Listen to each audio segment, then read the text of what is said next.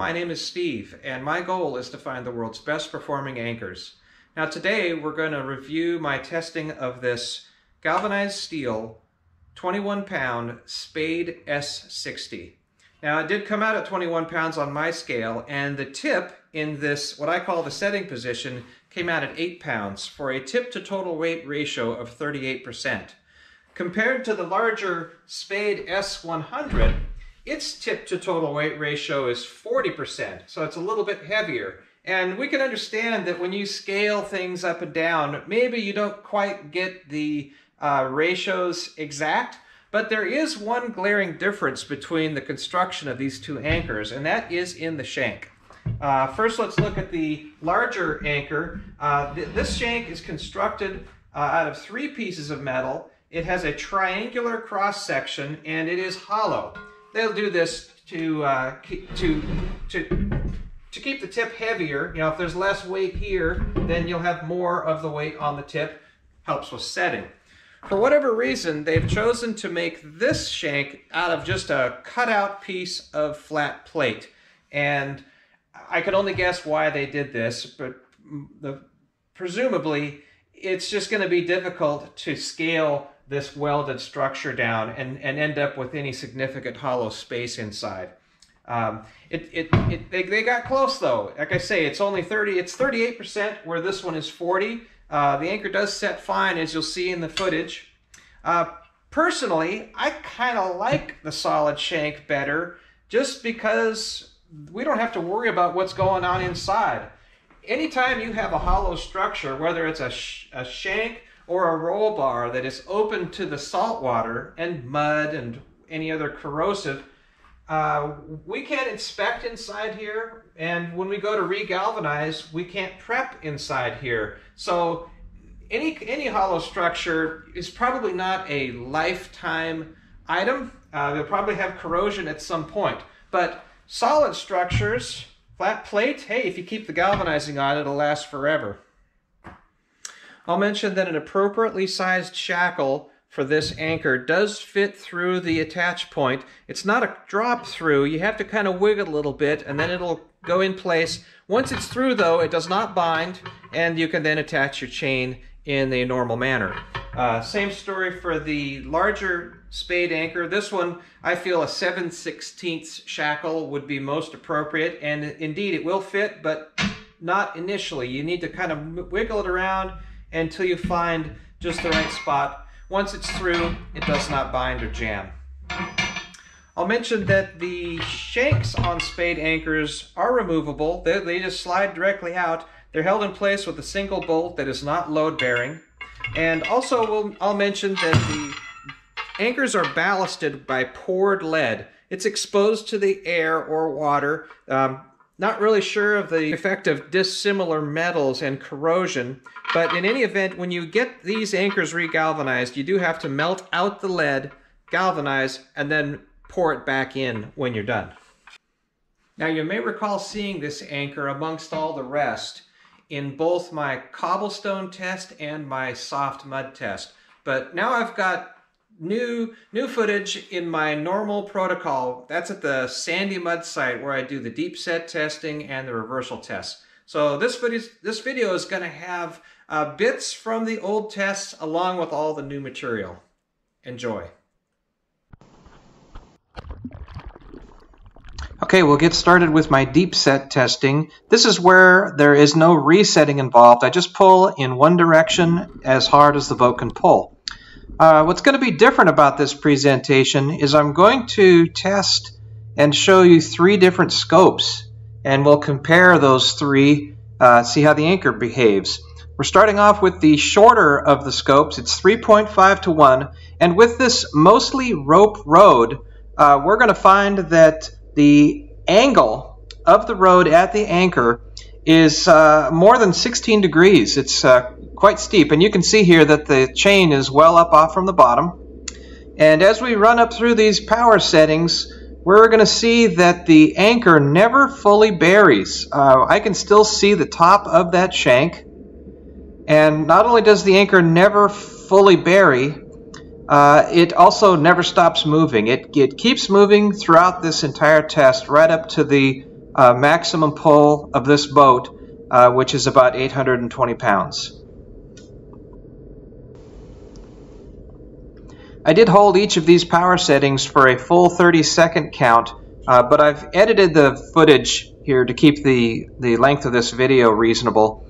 Uh, I, I, shortened it up to about 10 seconds each, except for the last uh, full power pull, you'll see I let that one run, run in its full length. So we're going to reach this anchor's uh, maximum holding power. In fact, we could argue that we already have. But we see that it never releases fully. There's never a violent, uh, you know, uprooting from the seabed. And I, I think this is a, a very, very good quality uh, to, to have an anchor that that just hangs in there and keeps providing holding power. It's going to give a crew time to react.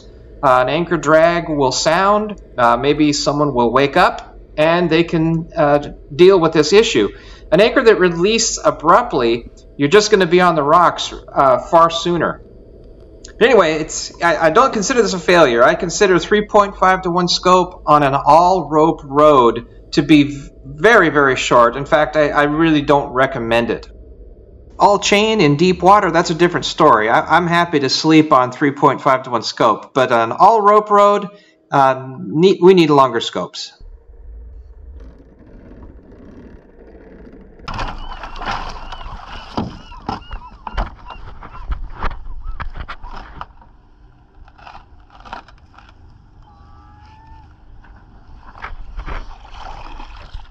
That was stuck in there really good.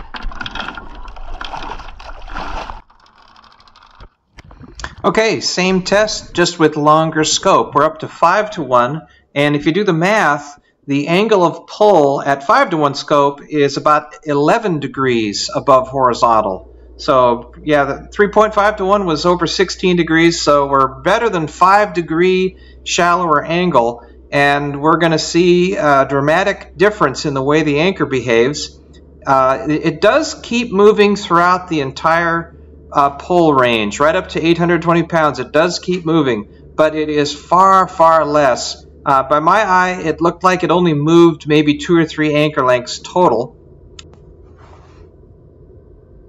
We see that the anchor does become completely buried, and the chain begins to bury as well. Uh, the, the point where the camera tether is attached to the chain is about one foot away from the anchor, and we can see right about at that tether attach point is where the anchor chain becomes uh, buried as well. So really good bearing by the anchor at this scope.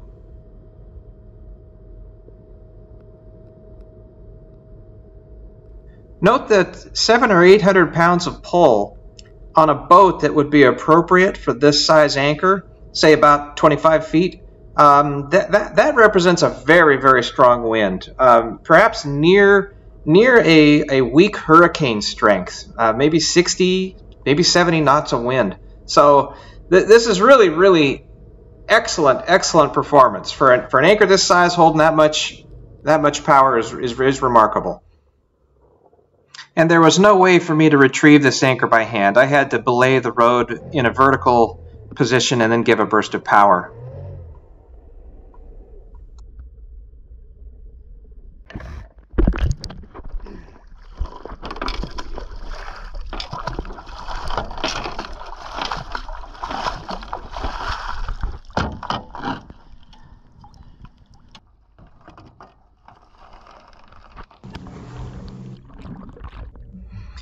All right, the final deep set test is at 7 to 1 scope, and that math works out to be an angle of pull above horizontal of just over 8 degrees. And I would consider this 7 to 1 scope appropriate for storms and very, very high wind violent situations. We're going to see here that the anchor really doesn't move far at all. It's only an anchor length or two, and at the final power setting, it is all motion has stopped.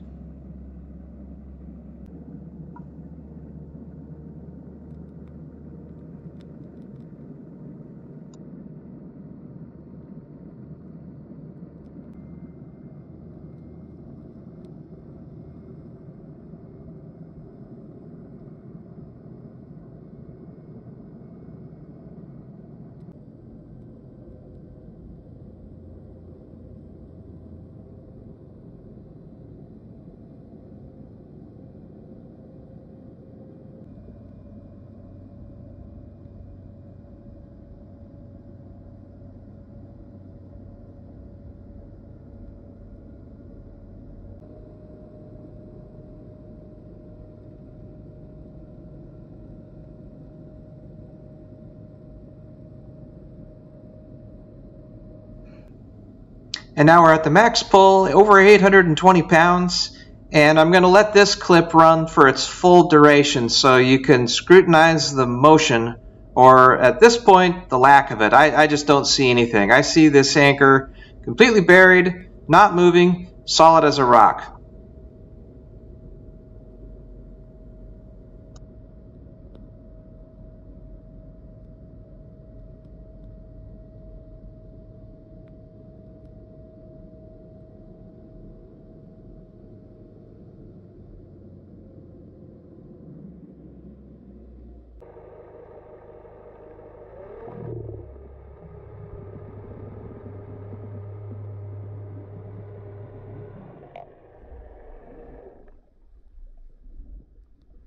I think it's noteworthy that in spite of a fairly substantial load of mud on the fluke, the performance of the anchor did not suffer.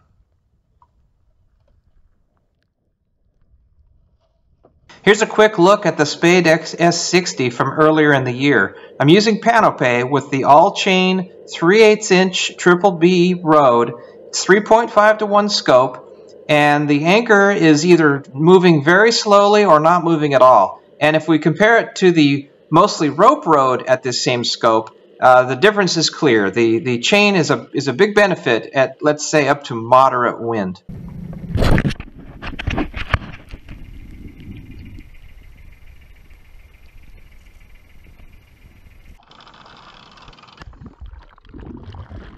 Well, I think we got the picture with the deep set testing, so let's move on to the reset testing.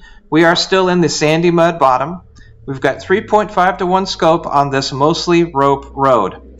And I think what you can see as you watch these 10 resets is that uh, there is a glaring difference in the way an anchor resets between being pulled by rope rode versus chain.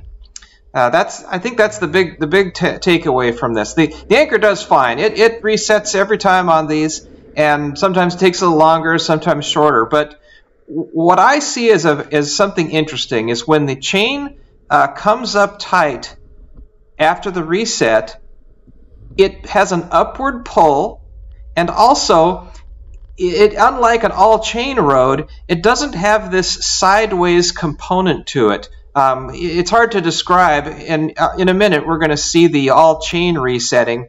Um, but I, the, the bottom line is, is I think I can safely say that a rope rode will result in an anchor releasing rather than rotating in the seabed.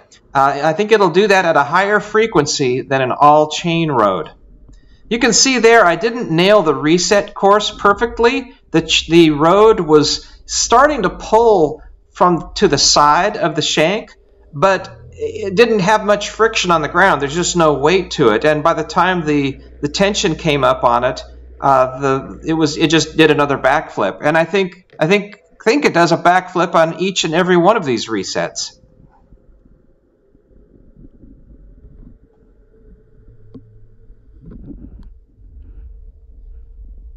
I think it's kind of odd that sometimes the anchor drags upside down for a moment or two. It's not really a problem. Um, unlike a, an upright anchor that's dragging, there's no chance that it will catch and foul on weeds. So this brief period where it stays upside down, that time it didn't. That, that seemed to be upright fully.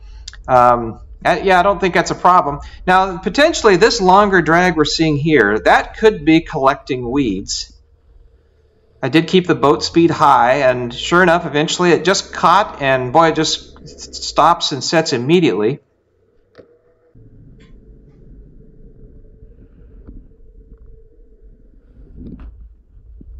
Here's a situation where the anchor is upside down, and maybe just a little more tip weight would cause this to right more quickly. I also think a uh, longer scope would tend to not have it uh, ride upside down like that.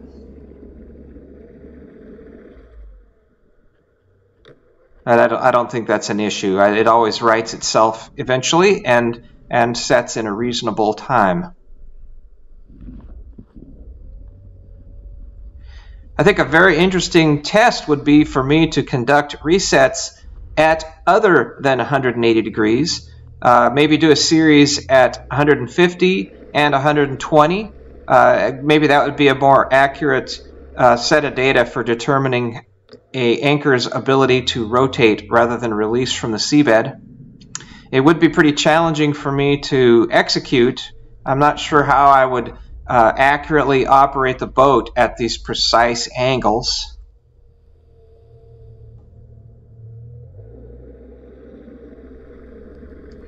But this is this is brilliant. I've, i can show you uh, much larger anchors uh, with even all chain rode that fail at this test.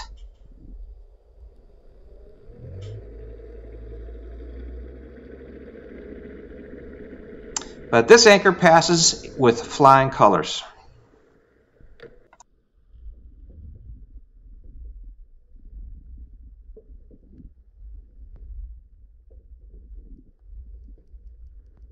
Okay, quite a bit of mud on the anchor, but it did reset every time. Good. Spade S60, 3.5 to 1 scope, sandy mud.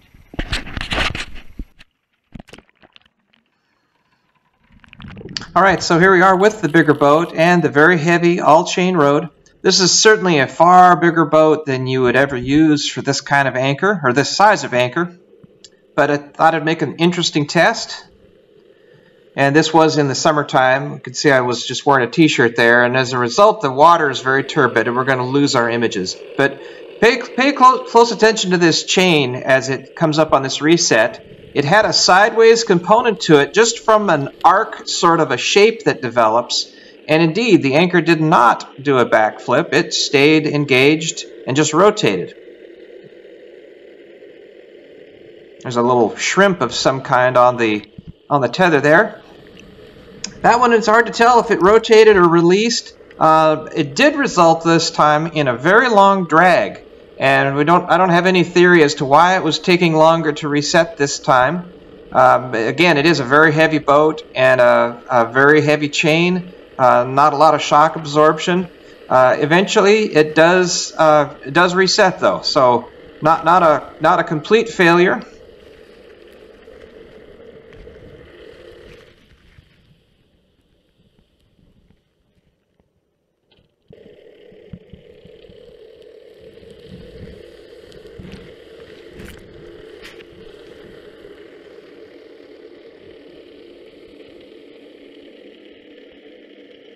Another longish drag, but it does eventually get the job done and stops this 15,000 pound boat from several knots of boat speed.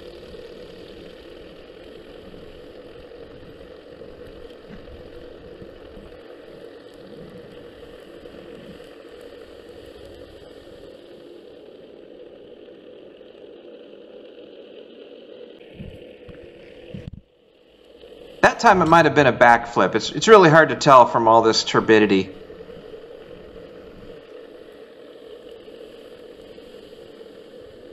I'm certainly not skimping on boat speed there. It's it's really a ridiculous test. I, I fully uh, fully understand why people will discount this test as something that is almost never going to happen in the real world. But it is well, it's it's a protocol, and some anchors pass it and some don't, and you can take that for what you want. I, I, personally, I think anchors that pass it, uh, uh, that has to relate or correlate to some better resetting ability in the real world.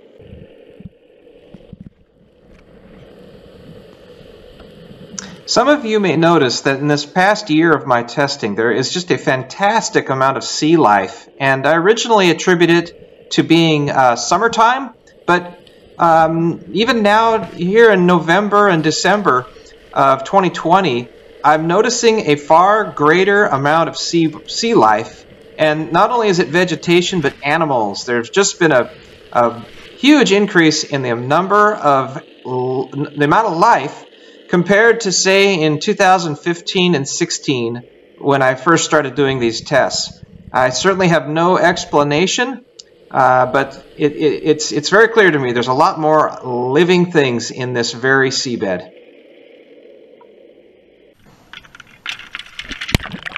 Now I've moved over to my original sand and gravel site, and this site used to be a pretty good place to test, but unfortunately it now has a tremendous amount of, of these heavy weeds. And the initial set we're lucky, it landed on a, on a clear spot, but on the reset it fouled completely and I, I brought up just a truly massive ball of weed. I'm not going to show it to you, uh, but set, set fine initially. Marrowstone Island, the north shore of Marrowstone, and I'm just testing this site. I'm looking for a new seabed. Looking for some cobble or larger stones. We'll see what we get. 3 to 1 scope. Sorry, 3.5 to 1 scope.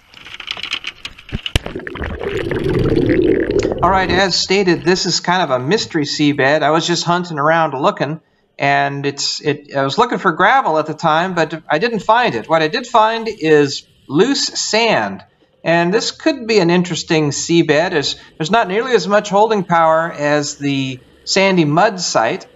Uh, the the anchor was it did continue dragging. Uh, unfortunately, I had the camera tether attached low on the fluke, and the, we get the plunging camera effect going on.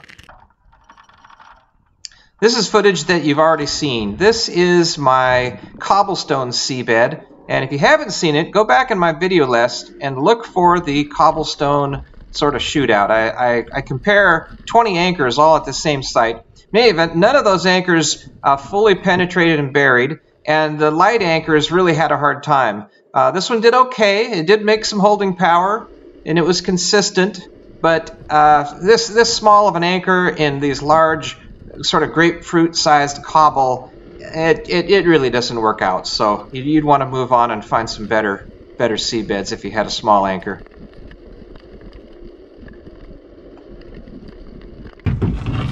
And here's a few clips from my soft mud shootout video. 80 pounds, holding. 115 pounds, holding. 160 pounds, inching forward, now stopped.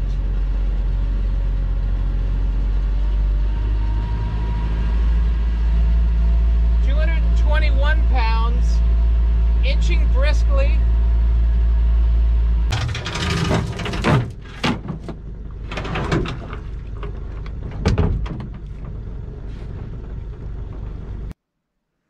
Well, I think my tests and the footage speaks for itself. And that is that this anchor is a very fine anchor. Uh, not perfect, but, but pretty close. Uh, I'll, I'll, relate something I tell my friends. Um, just half jokingly, I tell them that if Panope ever burnt or sank, and I really don't want that to happen because uh, this boat's been in my life since I was six years old, and she's definitely a keeper. But if I were to lose Panope, I would build myself a new, smaller boat, and I would start with this anchor. I'm thinking about 25 feet, maybe 4,000 pounds. It'd be hard to beat. Okay, that's all I've got for this Spade S60 anchor. Uh, do stay tuned to my channel. There's lots coming. Uh, I know it's the middle of winter and the big boat's on the hard, but I've been busy. I have recently uh, done more complete testing on the 2.5 pound Mantis dinghy anchor. I have tested the stainless steel Northill. I uh, gave the flying fluke anchor a try. Uh, there's anchors coming in the mail. There's a larger Viking coming my way and also a Knox anchor. Uh, I've never seen one of those in the flesh, so that'll, that'll be exciting. Uh, big thanks to everybody who's watching and supporting. Uh, I did get a couple new Patreon members this month. Thank you very much for that. That's, that's just excellent. So as always, anchor safely. So long.